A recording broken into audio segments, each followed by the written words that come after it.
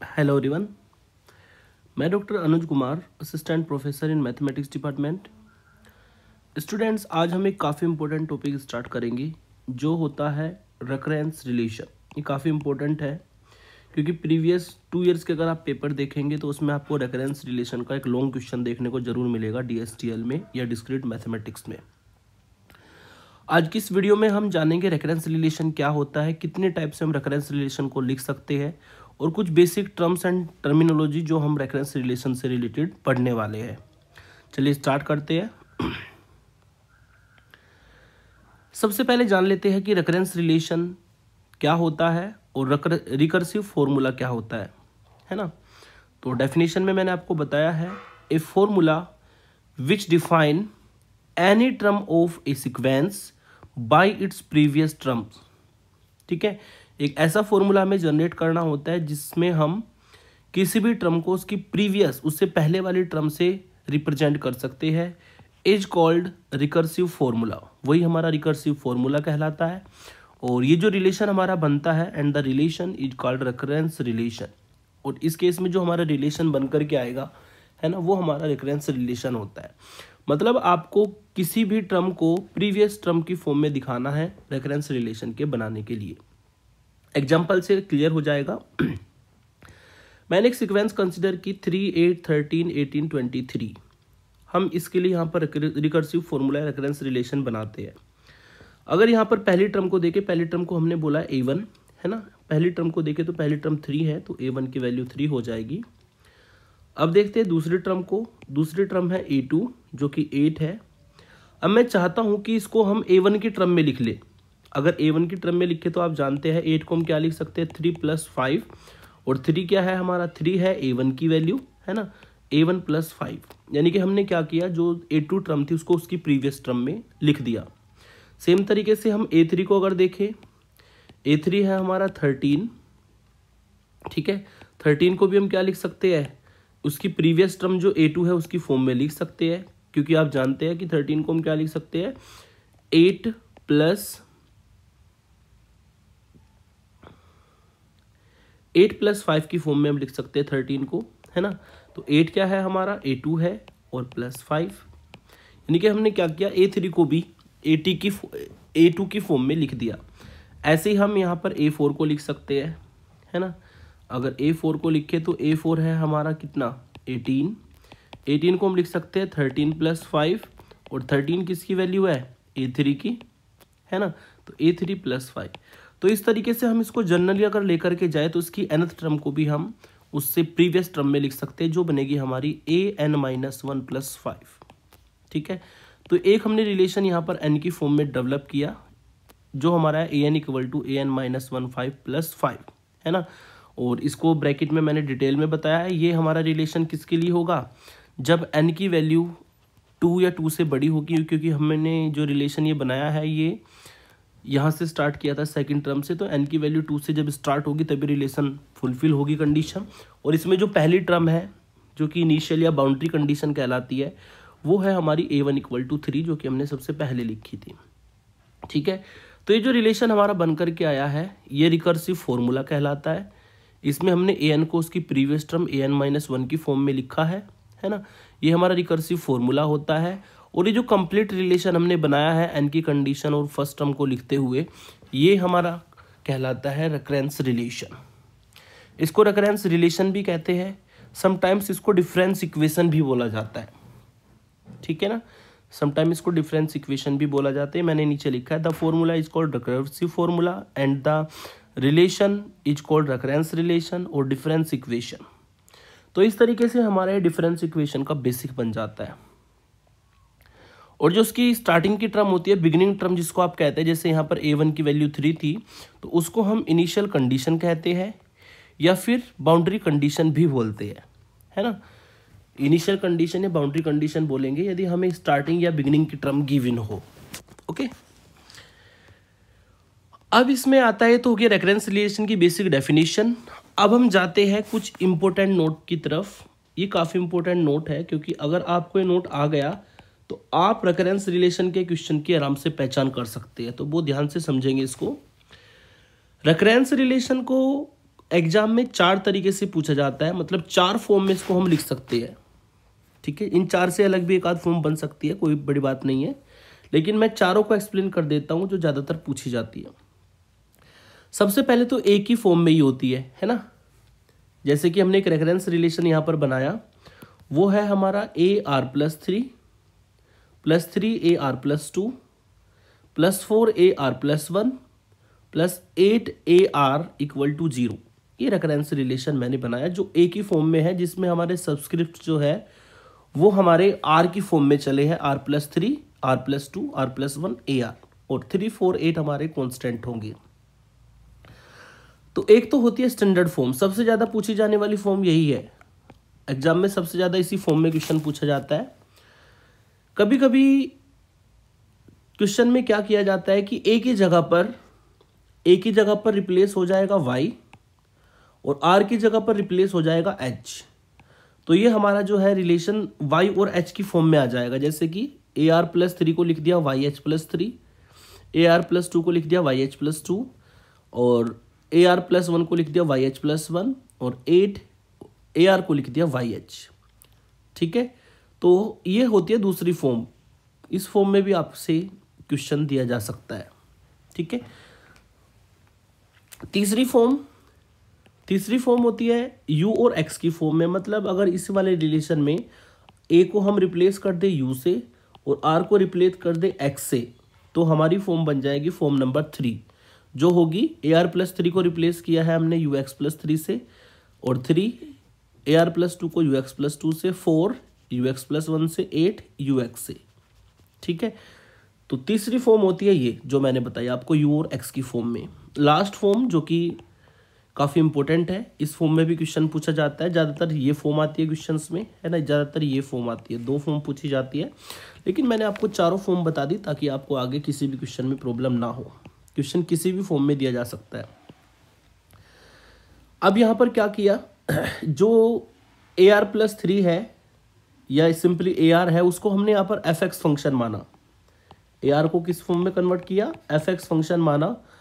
तो जो A R plus one होगा, वो हो जाएगा f x plus h a r plus two होगा, वो हो जाएगा f x plus two h है ना? ए आर प्लस थ्री होगा, वो होगा f x plus three h तो इस तरीके से हम अगर इसको डिनोट करें तो हम इस फॉर्म में भी इजिली इसको लिख सकते हैं। वही हमने लिखा भी है, देखिए ज़रा नीचे। F x plus three h plus three f x plus two h a r plus two की जगह। Four f x plus h और ए आर की जगह आपने रिप्रेजेंट किया है एफ़ एक्स को। ठीक है? तो ये हमारी जो है रेकरेंस रिलेशन की कुछ चार फॉर्म होती है है ना? चार फॉर्म में से किसी भी फॉर्म में क्वेश्चन आ सकता है और आगे भी मैं चारों में से कोई भी फॉर्म लिख सकता हूँ। आपको कंफ्यूज नहीं होना, अच्छे से पहचान कर लेनी है। ठीक है?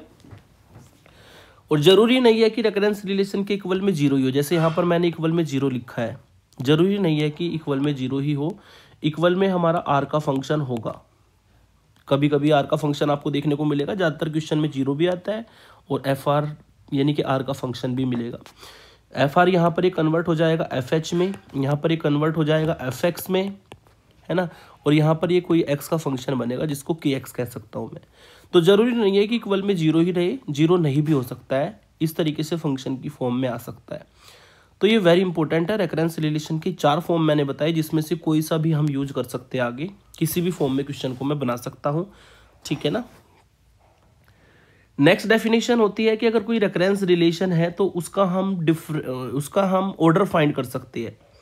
भाई डिफरेंस इक्वेशन रेकरेंस रिलेशन एक ही बात है। जैसे डिफरेंशियल इक्वेशन में आपने ऑर्डर डिग्री फाइंड करना सीखी थी मैथमेटिक्स में, है ना सेमेस्टर टू में सेम तरीके से यहाँ पर इस रेफरेंस रिलेशन को भी डिफरेंस इक्वेशन कहते हैं। क्या बोलते हैं इसको? डिफरेंस इक्वेशन अगर ये डिफरेंस इक्वेशन है तो इसका भी हम ऑर्डर और डिग्री फाइंड कर सकते हैं, है ना? ऑर्डर कैसे फाइंड करते हैं?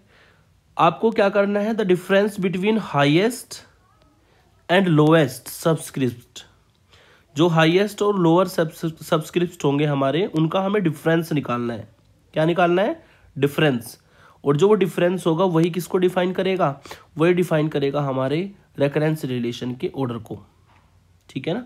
और आपको पता है, चार फॉर्म हमारी बन सकती है। यू एक्स की फॉर्म में आ सकता है यू एच की फॉर्म में आ सकता है ए आर की फॉर्म में होती है स्टैंडर्ड और एफ़ एक्स की फॉर्म में भी आ सकता है। तो अगर हम हाईएस्ट और लोएस्ट डिग्री के डिफरेंस को निकाल दें तो हमारी रेकरेंस रिलेशन का ऑर्डर फाइंड हो जाता है। फॉर एग्जांपल कुछ एग्जांपल्स लेते हैं, जैसे कि ये हमारा है। ये हमारी डिफरेंस इक्वेशन है, या रेफरेंस रिलेशन है। इसमें हाईएस्ट सब्सक्रिप्ट है हमारा आर और इससे लोअर सब्सक्रिप्ट है इसमें आर माइनस वन दोनों को माइनस कर देते हैं डिफरेंस निकाल लेते हैं तो सॉल्व करके कितना आया? वन तो इस डिफरेंस इक्वेशन का ऑर्डर कितना होगा? वन ठीक है? इसमें हाईएस्ट सब्सक्रिप्ट है एक्स प्लस टू और लोअर है एफ़ एक्स तो एक्स प्लस टू में से यदि आप एक्स को घटाते हैं तो टू आएगा। इसका मतलब इसका ऑर्डर होगा टू ठीक है? इसमें हायर सब्सक्रिप्ट है एच प्लस थ्री और लोअर है एच तो जब एच प्लस थ्री में से हम एच को घटाएँगे तो हमें मिलेगा थ्री तो इसका ऑर्डर होगा थ्री ठीक है? सेम तरीके से यहाँ पर हाइयर है एक्स प्लस फोर और लोअर है x plus one x plus one को घटा देंगे सॉल्व करके थ्री आएगा तो इसका भी ऑर्डर कितना मिलेगा हमें? थ्री तो इस तरीके से हम किसी भी डिफरेंस इक्वेशन का सब्सक्रिप्ट को लेकर के हाईएस्ट और लोवेस्ट को घटा सकते हैं और उसका ऑर्डर फाइंड कर सकते हैं। अब बात करते हैं डिग्री की। हम रेकरेंस रिलेशन की डिग्री भी फाइंड कर सकते हैं और रेकरेंस रिलेशन की डिग्री क्या होती है? डिग्री आपको पता है कि पावर से रिलेट करती है तो उसमें आपको क्या करना है, जो रेफरेंस रिलेशन होगा, उसमें आपको हाईएस्ट पावर देखनी है क्या है। जो उसमें हाईएस्ट पावर होगी, है ना, किसकी? ए आर यू एच की फॉर्म है एक्स यू एक्स की फॉर्म एफ़ एक्स की, जो भी हाईएस्ट पावर होगी, वही किसको डिफाइन करेगी? डिग्री को डिफाइन करेगी। फॉर एग्ज़ाम्पल जैसे कि चार रेफरेंस रिलेशन हमें दिए है, इसमें ए आर की हाईएस्ट पावर कितनी है? चार। तो डिग्री कितनी होगी इसकी? डिग्री हो जाएगी चार। यहाँ पर हाईएस्ट पावर कितनी है? थ्री तो डिग्री होगी थ्री आपको डिफरेंस इक्वेशन में या रेफरेंस रिलेशन में पावर देखनी है हाईएस्ट कितनी है? वही डिग्री को डिफाइन करेगी। यहाँ पर आप देख सकते हैं, सभी की पावर वन वन वन है। इसका मतलब ये कितनी डिग्री की रेफरेंस रिलेशन है? ये एक डिग्री का रेफरेंस रिलेशन है। इसमें भी, इसकी भी पावर वन है, इसकी पावर वन है, इसकी पावर वन है। तो यहाँ पर भी डिग्री कितनी हो जाएगी? डिग्री यहाँ पर भी हमारी वन ही रहेगी। तो इस तरीके से हम रेफरेंस रिलेशन की ऑर्डर और डिग्री को डिफाइन कर सकते हैं। बात करते हैं linear and non linear recurrence relation की। लीनियर वर्ड जहाँ पर भी आता है तो आप समझ जाते हैं कि जो हमारा रेकरेंस रिलेशन है या कोई भी इक्वेशन है, उसकी पावर कितनी होगी वेरिएबल्स की पावर कितनी होती है वन पावर में होना चाहिए तो लीनियर बनता है। अदरवाइज़ क्या रहेगा? नॉन लीनियर तो सेम तरीके से आपको यहाँ पर रेकरेंस रिलेशन में डिफाइन करना है है ना? जो रेकरेंस रिलेशन में हम अगर उसको लीनियर बताना चाहते हैं तो हमें देखना है कि उसकी डिग्री कितनी है। अगर उसकी डिग्री वन है तो वो रेकरेंस रिलेशन क्या होगा? लीनियर मतलब जो हाईएस्ट पावर है, ठीक है वेरिएबल की ए आर की या एफ़ एक्स की, जिसकी भी आप कहें, वो वन हो तो हम कहेंगे रेकरेंस रिलेशन लीनियर है अदरवाइज़ वो होगा non linear for example number one हमने लिया a r plus two plus two a r equal to r square ठीक है? तो यहाँ पर अगर आप देखें तो जो हमारा ए आर जो हमारा वेरिएबल की फॉर्म में चलता है, उसकी पावर वन है, इसकी भी पावर यहाँ पर वन है। चाहे तो आप इक्वल में ज़ीरो ले लीजिए, नहीं तो कंफ्यूज हो जाओगे। तो दोनों की पावर वन है। दोनों की पावर वन का मतलब ये होगा कि ये हमारी कैसी रेकरेंस रिलेशन होगी? लीनियर रेकरेंस रिलेशन होगा। लीनियर रेकरेंस रिलेशन लेकिन अगर कुछ इस तरीके से आपकी फ़ंक्शन की फॉर्म बन जाए कि ए आर प्लस टू का whole square plus three a r minus one equal to zero तो आप देख सकते हैं यहाँ पर पावर कितनी हो गई? टू वन पावर के केस में लीनियर होती है तो ये हमारी कैसी बनेगी? रेकरेंस रिलेशन ये बनेगा non linear recurrence relation next definition हमारी होती है homogeneous and non homogeneous reference relation ठीक है? देखो जनरली अगर हम के डिग्री का रेफरेंस रिलेशन लिखे तो के डिग्री का रेफरेंस रिलेशन कुछ इस फॉर्म में लिखा जा सकता है। A r plus a r minus one plus a r minus two plus dot dot dot a r minus k ये हमारा रेफरेंस रिलेशन है, जिसमें इक्वल में क्या फ़ंक्शन है? एक आर का फ़ंक्शन है। इक्वल में कैसा फ़ंक्शन है? आर का फ़ंक्शन है। तो इस रेफरेंस रिलेशन को जो के ऑर्डर का हमने रेफरेंस रिलेशन बनाया है, ये होमोजीनियस होगा। यदि इसका इक्वल का पार्ट ज़ीरो हो जाए, ठीक है, ये होमोजीनियस होगा, यदि इसमें जो इक्वल है एफ़ आर वो ज़ीरो हो जाए। और ये हमारा नॉन होमोजीनियस होगा, यदि इसमें इक्वल का पार्ट ज़ीरो ना हो मतलब एफ़ आर हमारा नॉट इक्वल टू ज़ीरो हो। फॉर एग्ज़ाम्पल जैसे कि यहाँ पर आप देख सकते हैं, इस रेफरेंस रिलेशन में इक्वल का पार्ट ज़ीरो है तो ये हमारा रेफरेंस रिलेशन कैसा होगा? होमोजीनियस रेफरेंस रिलेशन होगा। इस दूसरी रेफरेंस रिलेशन में अगर देखें तो इक्वल का जो पार्ट है वो ज़ीरो नहीं है तो ये नॉन होमोजीनियस रेकरेंस रिलेशन होगा। ठीक है? तो ये होता है homogeneous and non homogeneous recurrence relation बात करते हैं जनरल सॉल्यूशन की रेकरेंस रिलेशन के लिए। सॉल्यूशन आप जानते हैं कि अगर हम किसी डिफरेंशियल इक्वेशन या डिफरेंस इक्वेशन या रेकरेंस रिलेशन का सॉल्यूशन निकालना चाहते हैं तो वो हमारा एक ऐसा फ़ंक्शन बनता है जो कि गिवन रेफरेंस रिलेशन को सेटिस्फाई करेगा। ठीक है? तो जनरल सॉल्यूशन वही बन जाता है। ए फ़ंक्शन एफ़ आर कोई फ़ंक्शन है जो आर का फ़ंक्शन है। Is called general solution of the given reference relation if it satisfies the reference relation अगर वो सेटिस्फाई कर देता है उसको तो वो हमारा जनरल सॉल्यूशन कहलाएगा रेफरेंस रिलेशन का। एक होता है पर्टिकुलर सॉल्यूशन पर्टिकुलर सॉल्यूशन क्या होगा? वो भी एक आर का ही फ़ंक्शन होता है, लेकिन उसको हम पर्टिकुलर सॉल्यूशन कब कहेंगे रेफरेंस रिलेशन का? If it satisfy the reference relation reference relation को तो सेटिस्फाई करे ही together with the initial conditions जो हमें इनिशियल कंडीशंस दी होती है या बाउंड्री कंडीशंस दी होती है, अगर वो उनको भी सेटिस्फाई कर जाता है तो वो हमारा बन जाता है पर्टिकुलर सोल्यूशन और किसी भी रेफरेंस रिलेशन का अगर आपको जनरल सोल्यूशन फाइंड करना है तो आपको दो सोल्यूशन फाइंड करने होते हैं। ए आर इक्वल टू होता है, एक सोल्यूशन निकालते हैं होमोजीनियस सोल्यूशन जिसको हम कहते हैं प्लस दूसरा सोल्यूशन होता है पर्टिकुलर सोल्यूशन जैसे आपने डिफरेंशियल इक्वेशन में पढ़ा था y equal to C F plus P I same है? वो था डिफरेंशियल इक्वेशन के लिए complementary function plus particular integral यहाँ पर होता है वाई की जगह पर वर्क करता है ए और सी एफ़ का काम करेगा होमोजीनियस सोल्यूशन है ना?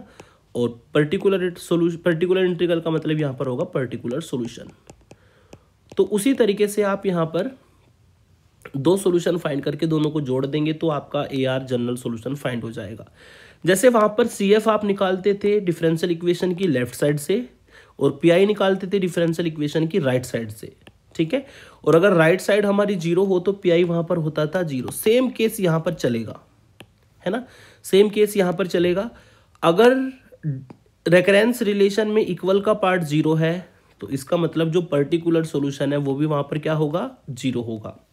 लेकिन जो रेकरेंस रिलेशन का लेफ़्ट साइड वाला पार्ट होगा, उससे हम निकालते हैं होमोजीनियस सॉल्यूशन ठीक है ना? जो कि नेक्स्ट वीडियो में मैं आपको कई सारे एग्ज़ाम्पल से बताऊँगा, उसका वर्किंग रूल बताऊँगा और होमोजीनियस सॉल्यूशन को फाइंड करना सिखाऊँगा। तो इसमें दो लेक्चर मेरे और आएँगे। एक वीडियो में मैं सिखाऊँगा आपको होमोजीनियस सॉल्यूशन फाइंड करना एक वीडियो में मैं सिखाऊँगा पर्टिकुलर सॉल्यूशन फाइंड करना और उसी से हमारे दोनों को ऐड करने पर हमारा ए आर जो है जनरल सोल्यूशन फाइंड हो जाता है। तो आज की इस वीडियो में इतना ही। बेसिक सारा कवर हुआ। नेक्स्ट वीडियो में मैं आपको बताऊँगा रेकरेंस रिलेशन में होमोजीनियस सॉल्यूशन कैसे फाइंड करते हैं। Thank you for watching